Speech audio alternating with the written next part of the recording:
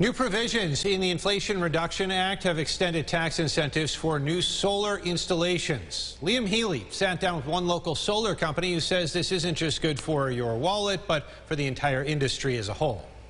If you're planning on installing new solar panels in your home or business in 2023, you're in luck. The Inflation Reduction Act now allows you to write off 30% of the cost on your federal taxes.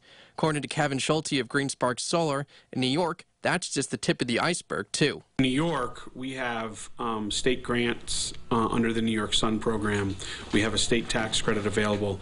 And then you add that with the federal tax credits that are now available under the Inflation Reduction Act. Um, and you can actually get 60 or so percent, 60 or more percent of your solar system paid for by grants and incentives.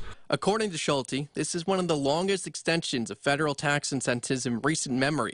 This doesn't just help you as the consumer, but it also helps the solar industry as a whole chart a path forward.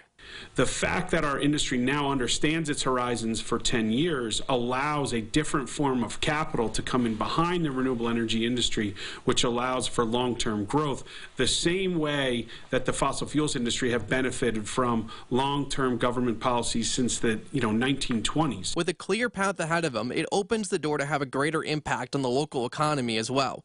One that Schulte thinks will help Rochester continue to succeed, including bringing new jobs and the workforce development to go with it, too. GreenSpark will grow dramatically over the next decade. We're, we're currently sitting at around 100 people. We think we'll, we will, you know, over the next couple years, we'll double and triple that number of people. And the nice part about it is we'll be doing that with high quality, well paying, purposeful jobs for people here in Rochester. Reporting in Ontario, Liam Healy, News 8.